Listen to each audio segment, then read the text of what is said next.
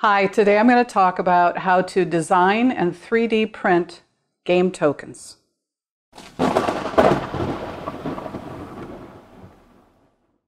Hi, welcome to Grey Lightning, my video blog about making things and playing games. And today is a really important day for me because I've finally gotten to the point in 3D printing when I've been able to design and print my own custom piece, which uh, is this maker token. And design's always been very important to me. All of my tutorials start with design and then move on through the making process. And I wanted to be able to do that for 3D printing as well. Now I started out doing a lot of work in laser cutting and where I started design for laser cutting was game tokens because that's really the simplest thing you can design and make. So some examples here are these just engraved tokens. Um, I have engraved and painted tokens. My favorite tokens are these Legend of the Five Rings tokens that are red on one side and blue on the other, so they're double-sided. Uh, and I thought a good place to start design for 3D would be to try to recreate some of these designs. So that's what I'm going to show you today. I'm going to take a very simple token where I already had the design drawn and I'm going to import it from Adobe Illustrator to Blender, which is the 3D modeling software I'm using. I'm going to make it 3D and then I'm going to export it so that I can pull it into Chitubox, which is my slicing software, to 3D print it. Now I've used a variety of resins here. I've done translucent.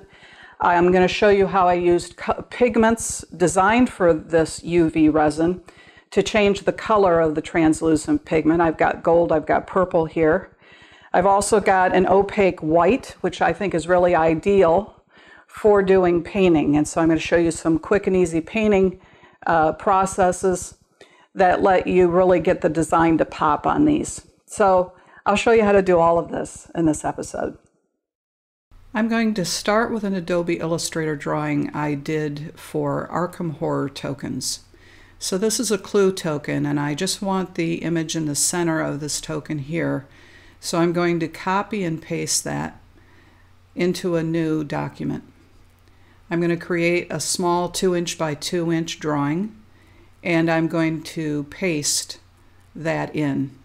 Now in order to have Blender see that as one image I have to create a compound path.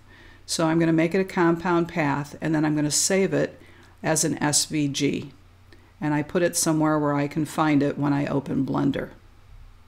In Blender, I deleted the default cube they put in the middle and the camera and light, and then I import my SVG that I've just saved. And I have to navigate to that location and open it. Now I can't even see it to begin with because it's small and it's who even knows where it is on the screen. So I make sure I'm in object mode, I select that curve, and then I hit N to open this sidebar and I put in the dimensions I want, 25 millimeters, in both the X and Y dimension. It's still flat though, so I'm going to select it and I'm going to add a modifier to it called solidify. Now it has this thickness parameter and I'm going to put in a 4 there, uh, but I believe, yes, that's going to double, so it's 8, and that's really thicker than I want, so I'll make it thinner later. But I still have it selected, I've opened the Move widget, and I'm using that to move it to the center of the design.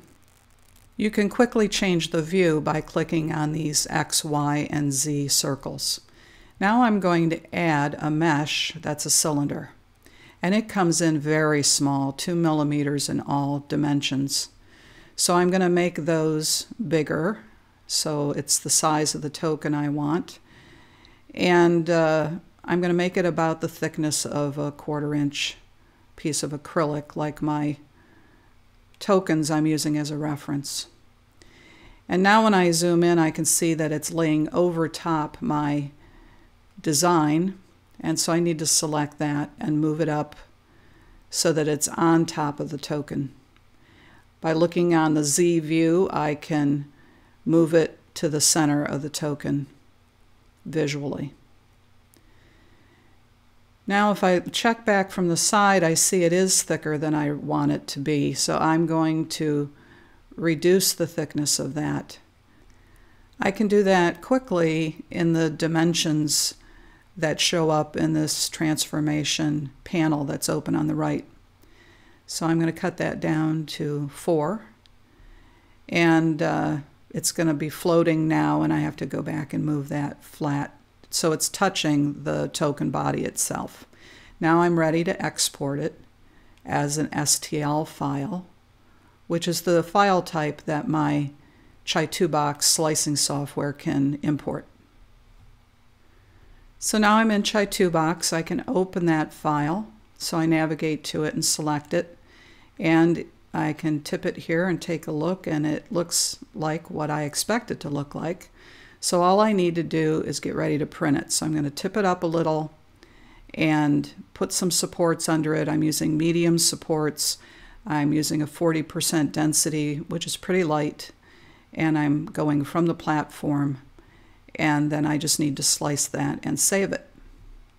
When I made my first test tokens, I put them flat on the bed and I was able to remove them. But as the tokens got larger and more rigid, they were harder to remove, which is why I went to using supports. Now that I had the process figured out, I decided I would create a maker token, and this is what I designed. I'm going to do a separate video that shows this design from scratch. I used the cherry blossom ring from my Legend of the Five Rings tokens, but I created a new center for Grey Lightning. I printed the first one in clear translucent acrylic and it turned out quite nicely. It was very easy to remove the supports. I cure it for four minutes from the top and then I flip it over and cure it for another four minutes. And here's the final product. I ordered this set of resin colorants off of Amazon. It has 18 colors in it and they're really designed for adding to clear transparent resin. So I'm going to create a gold here and I'm counting the number of drops I'm putting in to see how many it takes to get to the color I'm interested in. I cloned my model so I could print three at once and this is what I got. For those of you that haven't seen this, this is what's called a failed print. So I went into Chitubox, into the settings, and I increased the standard exposure time from a default of 9 seconds to 13 seconds. The first layers were fine, and that was a adequate change. I had a perfect print on my gold coin.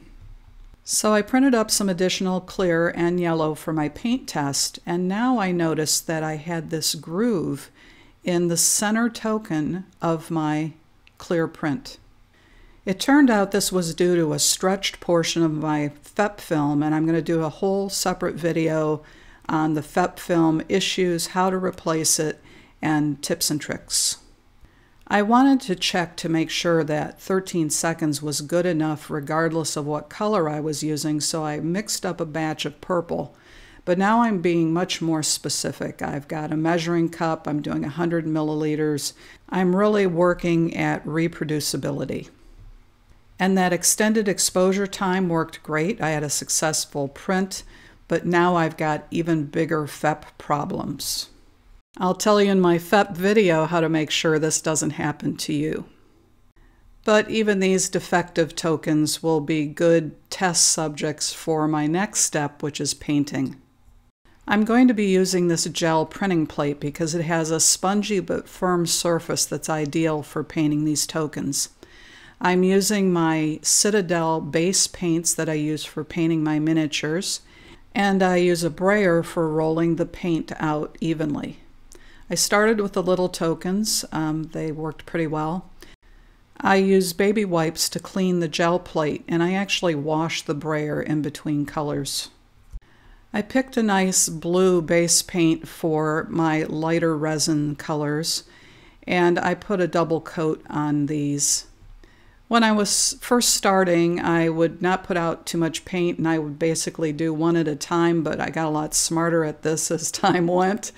And by the time I got to the gold, which by the way is my favorite, I'm really putting a lot on and I'm laying out enough here that I can do four at a time before I have to re-roll the paint. I experimented with adding a layer of what's called a layer paint. This is a layer paint, a gold layer paint. And look how thin. I mean, I can't even roll it to, I can't even get it to stick to the gel plate. And not too surprisingly, the addition of this layer paint didn't really do much for the look of the tokens. Two coats of a base paint was plenty. So I think the translucent resins look really nice, even unpainted, especially given you can create really any color you want using the pigments.